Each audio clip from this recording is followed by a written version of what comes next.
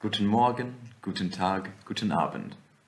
We will together download Python as well as various Python packages. It may be the case that different programs using Python on your computer depend on different versions of these Python packages. To accommodate this, we will also download something called a wrapper for virtual environments. Let us begin by downloading Python. Let's go to an internet browser and we will search for Python. P-Y-T-H-O-N.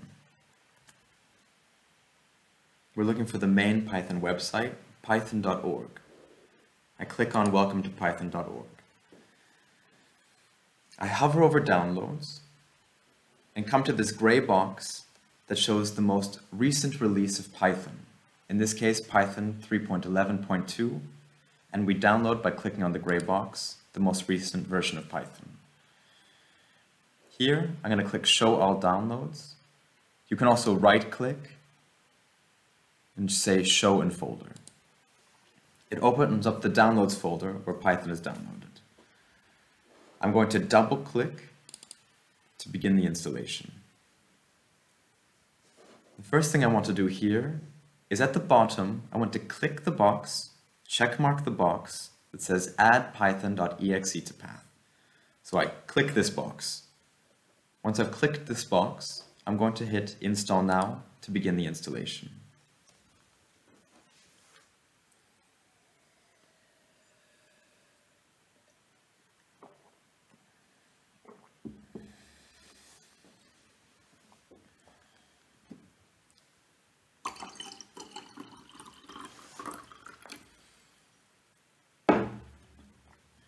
Setup was successful. Close, close the window, close. How can we be sure that Python installed correctly?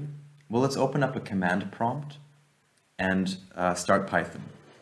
So here in the search bar in the computer, I'm going to type in command, C-O-M-M-A-N-D, and then push enter to open up the command prompt. I'm going to type in the word Python. P-Y-T-H-O-N. P-Y-T-H-O-N. Python, enter. It says Python 3.11.2, and then three right pointing arrows. Let's type in, for example, 2 plus 2. Python tells us 4. All right, let's close out of this. Let's now download the wrapper for virtual environments.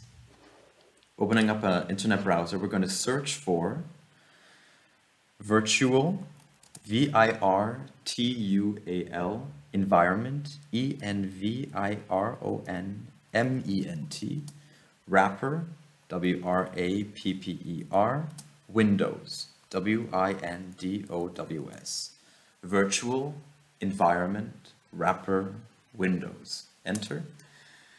And I'm looking for the page that is PYPI. So virtual env wrapper dat dash win from PYPI.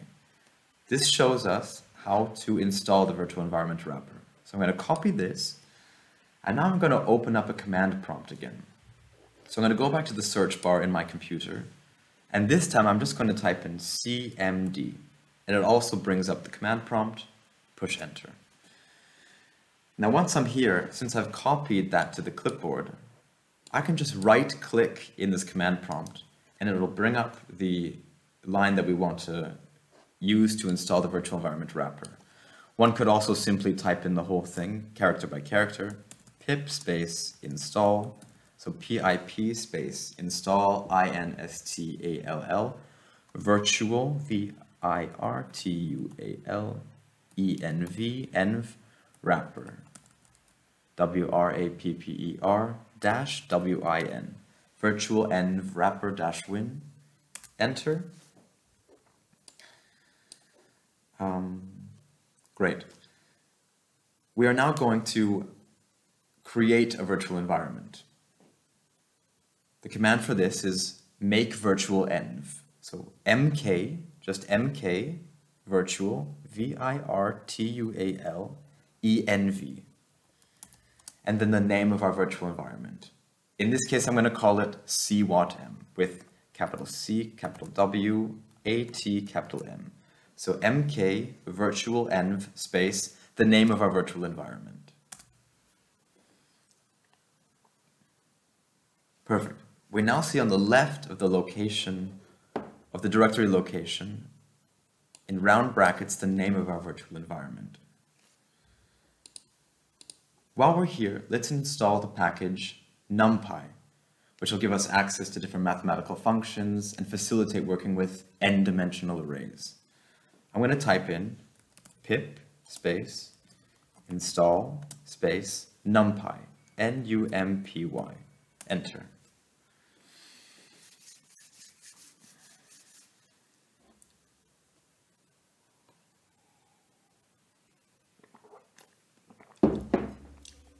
Let us now install something called GDAL, a Python package that will facilitate creating, manipulating, and generally using spatial data.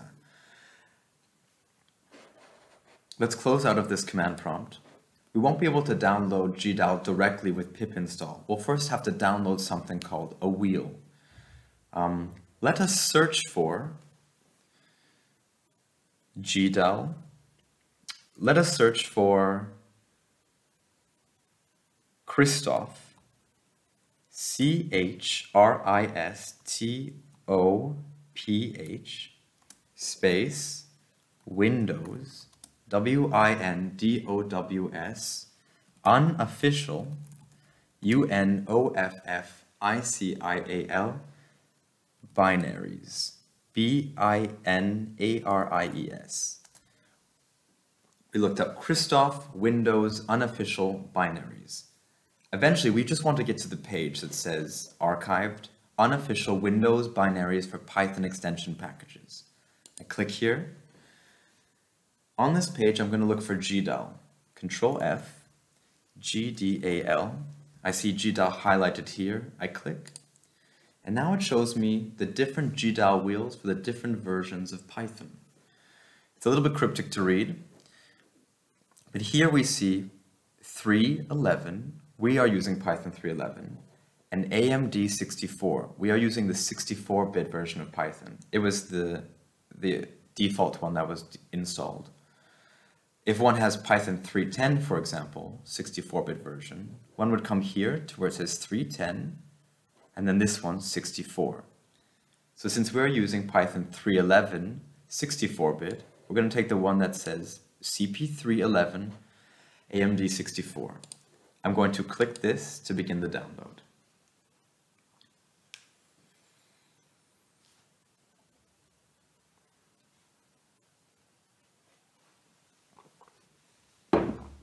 Great. I'm going to open up the folder where my GDAL wheel was downloaded. So I right click and I say show in folder. In my case, it is downloaded in the downloads folder we're going to open up a command prompt inside of the downloads folder. A shortcut to do this is when we have the folder open, we're going to click on the address bar, which highlights the address, and we're going to type in cmd, cmd, and push enter. And this will open up a command prompt directly in the folder uh, we have we have we have open and typed into the address bar.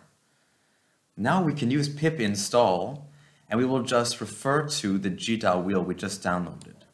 I'm going to type in pip install space and I'm going to type in just GDAL and I'm going to push the tab button which will complete the name as it looks for within this folder something that starts with GDAL. You can also just type it in character by character or paste it in. So pip install gdal tab completes the name, and now I push enter. Perfect. I had just installed it previously, um, but it is installed successfully here. Let's download a few more packages together. Ah, as we see here, I didn't activate the virtual environment before installing if one isn't using many versions, or many uh, programs that use different versions of packages, one could simply install all of these packages directly onto the computer. in this case, I want to install it using, using the virtual environment that we've created, CWATM. Every time we close a command prompt, we must reactivate the virtual environment. To activate the virtual environment with the wrapper we have used, we will type in work on and then the name of our virtual environment, CWATM. Great. Now for good practice, let's do the pip install gdal within this virtual environment.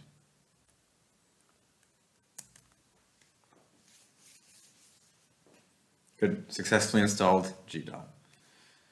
Let's download a few more packages. Um, SciPy, pip install scipy.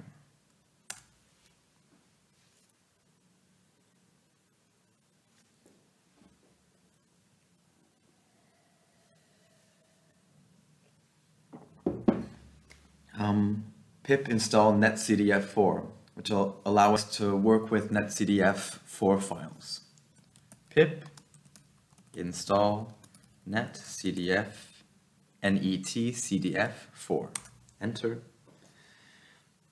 And one last package that allows us to work with different data structures. Um, pandas. pip install p-a-n-d-a-s pandas.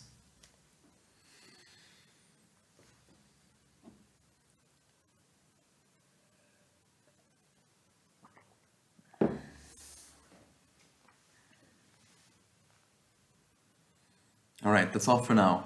Äh, bis zum nächsten Mal. Schönen Morgen, schönen Tag, schönen Abend, gute Nacht.